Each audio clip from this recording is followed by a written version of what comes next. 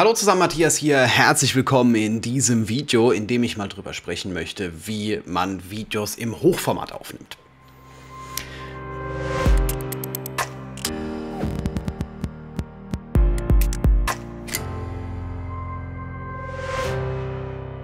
Und ja, im ersten Moment denkt man, film ich doch einfach so, aber es gibt ein paar Besonderheiten.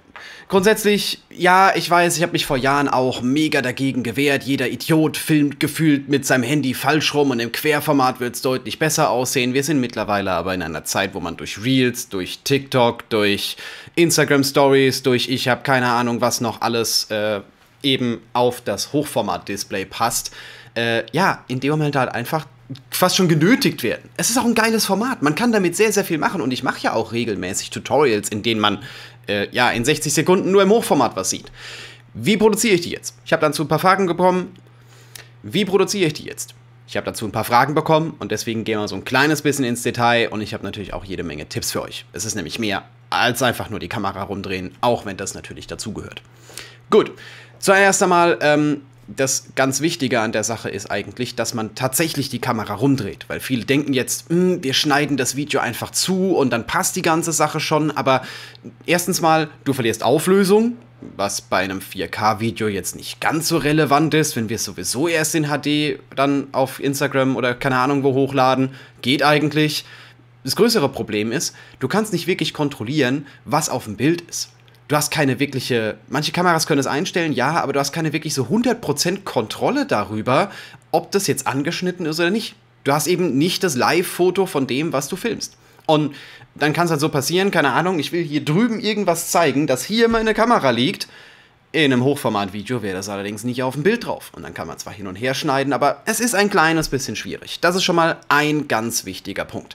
Ihr solltet auch im Hochformatfilm. Macht's einfach, es löst mehr Probleme, also als man glaubt. Genau. Okay.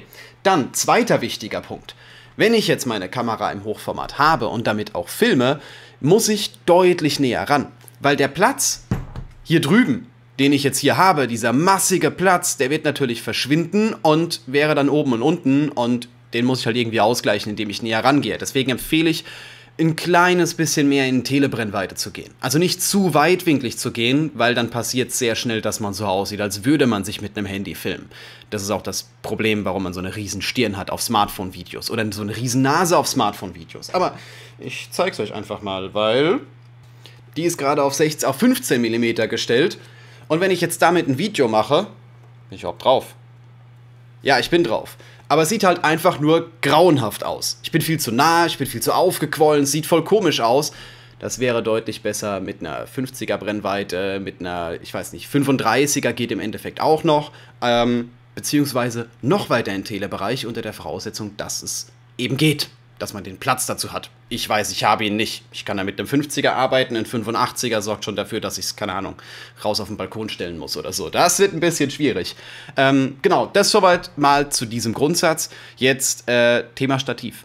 Wenn es Tutorials sein sollen, wie ich das in dem Moment mache, ist das Prinzip relativ easy. Die meisten Kamerastative haben entweder Kugelköpfe, mein Kugelkopf steht jetzt blöderweise da hinten, da ist die andere Kamera drauf, die mich gerade filmt, ähm, oder sie haben halt ganz einfach solche, solche Schwenkköpfe, Drei-Wegeköpfe, ist in dem Moment egal. Die meisten Fotostative haben die Möglichkeit, die Kamera ins Hochformat zu drehen. Und das macht's total easy, so sie irgendwo hinzustellen und zu sagen, hey, komm, wir... Ich habe die Stativschraube nicht festgedreht wir drehen hier jetzt einfach mal so ein Video. Machbar.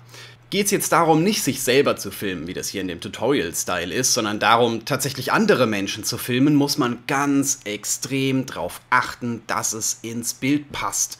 Das klingt jetzt so easy, so nach dem Motto, ich guck, dass ich nirgendwo was abschneide und dann passt die Sache schon. Es geht noch weiter. Das, was man im Querformat als dreidimensionale Elemente wunderbar in die Videos integrieren kann. Jetzt keine Ahnung, dass mein Monitor hier vorsteht, um dreidimensionalen Raum reinzubekommen. Oder dass ich hier irgendwie, keine Ahnung, einen Hintergrund habe, damit es dreidimensionaler wirkt, dieses Video. Das habe ich im Hochformat nicht. Also ich kann es im Hochformat auch reinbauen. Das Problem an der Sache ist halt, es ist viel gequetschter. Ja, ich habe auch hier ein Mikrofon vor, vor mir stehen. Ne? Das reicht jetzt aus meiner Sicht nicht, aber wenn ich jetzt mit aller Gewalt den Monitor. Moment. So, für den Zuschnitt.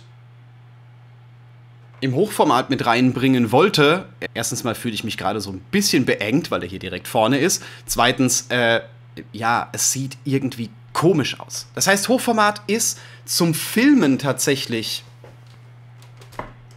deutlich anspruchsvoller, als man denkt. Und ich will jetzt auch tatsächlich gar nicht so krass in die Tiefe gehen, weil es ja eher jetzt mal auf den technischen Aspekt abzielt. Da mal vielleicht mal bei Gelegenheit noch ein anderes Video. Ähm, jetzt, ganz ehrlich, wir haben es geschafft. Ich, ich erkläre jetzt auch nicht, wie man Ton aufnimmt. Ich erkläre jetzt auch nicht, wie man Licht setzt. Da habe ich andere Videos zu. Es geht jetzt eigentlich nur darum, das Hochformat-Thema anzusprechen. Okay, wir gehen jetzt mal von aus, wir haben unsere Videos alle gedreht, wir haben sie gefilmt, es passt bildgestaltungstechnisch oder sonst irgendwas. Wir haben jetzt noch eine technische Hürde und zwar, wie schaffen wir es, diese Videos zu bearbeiten? Prinzipiell haben wir immer noch das Problem, zumindest mal in DaVinci ist es so. Ich weiß nicht genau, wie es in Premiere aussieht, wahrscheinlich wird sie es ähnlich verhalten. Wenn wir das Video hier einfach reinziehen, so, ähm, ja, das ist jetzt nicht gerade eine geile Grundlage, um das hochzuladen und zu exportieren. Wir müssen es drehen. Aber wir gehen jetzt mal hier in die Project Settings und ändern unsere Auflösung. Wir haben hier leider keine Vorlage, wo man draufklicken kann. Irgendwie ist das nicht vorgesehen dafür, aber egal, wir können das hier einmal switchen. Und zwar in 1080 mal 1920. Das ist die Auflösung, wie alle Reels, TikToks, whatever Hochformat-Videos normalerweise auf den Social-Media-Plattformen laufen. Wenn man da andere Auflösungen haben will, kann man auch andere einstellen. Das ist die, mit der ich arbeite. Und ja, einmal speichern und theoretisch ist das Video jetzt schon mal im richtigen Ausgabeformat, aber wir müssen es natürlich noch drehen. Und ich weiß nie, ob ich hier 90 oder minus 90 eingeben soll. 90 reicht äh, und die Transformation hier gerade noch. Komm schon. So, so weit nach oben. Ja, ich gebe hier normalerweise irgendwie so ein bisschen 1,83 ein, dann ist man normalerweise in der richtigen Liga. Wenn ähm, jetzt das gleiche Problem ist wie bei mir hier, dass ich eben nicht richtig äh, ausgewählt habe, was denn genau in dem Moment angezeigt werden soll, es ist nicht so 100% mittig, ich hätte es aber gerne mittig, können wir noch so einen Ticken reinzoomen und einfach weiter nach rechts. So, passt. Mittig, ich habe es nicht mittig gefilmt, aber das weiß keiner.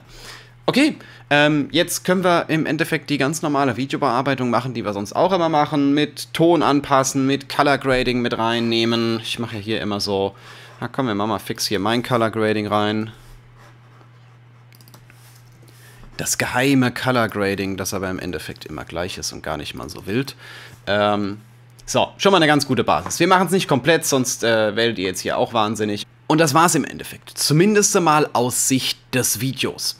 Wenn wir jetzt Einblendungen mit reinbringen möchten oder interessante Objekte an irgendeiner Stelle im Bild platzieren wollen, müssen wir eine wichtige, einen wichtigen Punkt in dem Moment beachten, weil ähm, es ist nicht alles machbar. Wenn ich jetzt hierher gehe, ich habe das ja aus den letzten Videos, die ich da als Reels benutzt habe, habe ich solche Screenshots von den letzten Kommentaren mit reingenommen, die ich in dem Moment beantwortet habe. Ist zwar ganz cool, aber wir müssen ein kleines bisschen aufpassen. Erst einmal zuschneiden, keine Ahnung, wir nehmen jetzt einfach mal den da. So, ich weiß gar nicht, ob das das richtige Video zum richtigen Kommentar ist. Ist im Endeffekt auch egal. Äh, es hat einen Grund, warum der so weit oben ist.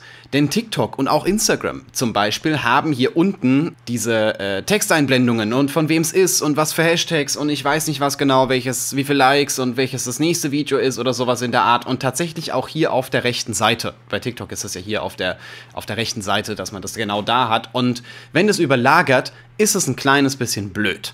Äh, auch hier oben, also gerade Einblendungen sind immer so ein kleines bisschen schwierig. Bei den, bei den Querformat-Videos kann ich Einblendungen einfach hier nebendran machen oder da nebendran. Ich weiß nicht, ob ich hier genug Platz habe. Aber äh, bei Hochformat funktioniert das nicht ganz so gut. Es ist entweder hier unten drunter direkt vor mir oder was ich auch schon in Videos gemacht habe, wo ich wusste, es sind sehr viele Texteinblendungen, dass man entweder cuttet, dass man sagt, hey, ich äh, mache halt so eine Bild-in-Bild-Geschichte, hier oben habe ich dann plötzlich Platz, oder dass ich das Video von vornherein so filme.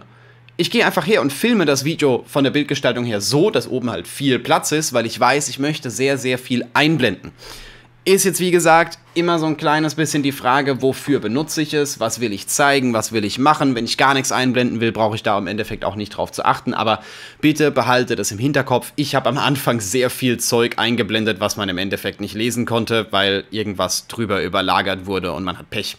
Und was mir auch aufgefallen ist, guckt so ein kleines bisschen, dass der Rand etwas Abstand hat. Also, dass man jetzt nicht hergeht und sagt, hey, ich will das hier einblenden und dann mache ich das irgendwie so von rechts und links oder sowas in der Art. Beziehungsweise, das war jetzt die extrem übertriebene Variante, wir machen mal sowas. Weil ich habe nämlich die Erfahrung gemacht, äh, dass manche Social-Media-Plattformen das zuschneiden, beziehungsweise auch zugeschnitten darstellen. Weil nicht jedes Handy-Display ist in dem Moment das gleiche. Nicht jedes hat 16 zu 9, exakt 16 zu 9. Und deswegen werden die manchmal ein bisschen gestretched, einfach um die Darstellung anzupassen, damit es eben im Vollbild läuft. Und da muss man so ein kleines bisschen entgegenwirken. Das heißt, es ist nicht schlimm, wenn man so ein etwas kleiner macht. Hier sowas in der Art, das sollte abstandstechnisch reichen aber bitte bedenkt, ähm, der Kommentar ist ein schlechtes Beispiel. Äh, es ist ein Handy-Display. Nicht jeder kann da hunderte, an, hunderte Wörter an Text plötzlich lesen und auch in der Geschwindigkeit nicht lesen. Also hm, muss man so ein kleines bisschen schauen. Gut, jetzt fehlt eigentlich nur noch ein Punkt und das ist der Export. Denn im Export muss man auch noch ein kleines bisschen was beachten. Zuerst einmal MP4, H264, definitiv wichtig, weil anders kann es normalerweise nicht verarbeitet werden. Manche können dann auch ihr, äh, ich weiß nicht, äh, MOV-Dateien oder sowas in der Richtung nehmen. Ich nehme immer MP4, bin ich auf der sicheren Seite. Das geht normalerweise immer. Und die Bitrate, also erstmal Auflösung HD, auch wenn ihr in 4K gefilmt habt und wenn ihr in 8K gefilmt habt, ist komplett egal. Bitte exportiert in HD, weil die Netzwerke äh, gehen sowieso her und rendern es auf HD runter. Bringt euch keinen großen Vorteil. Bei der Bitrate, mh, hm, ich habe schon mehrere Sachen ausprobiert. Ich habe schon viel getestet und ich habe festgestellt, 8000 Kilobit funktioniert am besten. Viel weiter runter würde ich nicht gehen. Es geht halt einfach darum, es ist das gleiche wie bei den Bildern, das gleiche, wenn ich Bilder auf Social Media poste, dass ähm, es problematisch ist, wenn in dem Moment zu viel Daten vorhanden sind oder auch zu wenig. Zu wenig sowieso, aber wenn ich jetzt hergehe und das wie für YouTube in 100.000 äh, äh, Kilobit rausrender, also 100 Mbit rausrender, habe ich zwar sehr viel Qualität in dem Video und vielleicht auch ein bisschen zu viel. YouTube kommt damit zurecht, TikTok nicht. TikTok geht dann her und sagt entweder, hey, dein Video ist viel zu groß, ich kannst das gar nicht hochladen, oder äh, es wird halt runtergerechnet ohne Ende und dann sieht es meistens aus, als, ich weiß nicht, wer gerade das Internet weg, während man Netflix schaut. Und das wollen wir eher vermeiden, deswegen das sind meine Settings, mit denen ich bisher ganz gut gefahren bin. Ich mache auch hier den Multipass-Encode, das heißt, er geht zweimal über das Video drüber, ist normalerweise für kleineren Speicher und bessere Qualität. Ähm, nur um mal so einen ganz groben Überblick zu diesem Thema zu geben. Alright das war es im Endeffekt, wie ich meine Instagram, TikTok, Reel, was auch immer Videos, die Hochformat-Videos in dem Moment produziere. Zuschneiden ist tatsächlich auch machbar, ist tatsächlich auch gar nicht so aufwendig, kann man ebenfalls verwenden. Nutze ich gerne mal bei Projekten, wo man ein äh, normales 16 zu 9 Video hat und die, der Kunde halt sagt so, hey, können wir das auch irgendwie in Reel-Form reinbringen? Geht, wenn auch mit Aufwand verbunden, beziehungsweise auch teilweise gar nicht möglich. Premiere hat da tatsächlich eine echt geile Funktion mit dem Auto-Reframe. Ich habe damit schon ein kleines bisschen experimentiert und habe festgestellt, äh, das funktioniert nicht so geil, wie man in dem Moment denkt. Und meistens macht man es manuell deutlich besser. Gerade wenn es sowas ist, da einer fährt von rechts nach links durchs Bild oder sowas in der Art und das muss jetzt getrackt werden, ist das manchmal ruckelig oder es geht erst mit der Geschwindigkeit mit und dann plötzlich nach vorne oder nach hinten. Also es kann schon ein paar Probleme mit sich bringen, deswegen vorsichtig sein. Äh, wäre allerdings eine Möglichkeit. Gibt es manche, manche Tools, also also je nachdem, was für ein Video, kannst du hergehen, kannst du es über ein komplettes Video einfach drüber laufen lassen. Der analysiert eine halbe Stunde oder sowas. Oder zehn Minuten, je nachdem, wie schnell der Rechner ist. Und äh, ja, plötzlich ist das Video einfach so zugeschnitten, dass du immer das Motiv im, äh, im Bild hast und es eigentlich passen sollte. In der Theorie. In der Praxis habe ich gemerkt, es funktioniert noch nicht ganz so gut. Aber gut, was wir halt alles mit KI machen oder auch nicht machen können.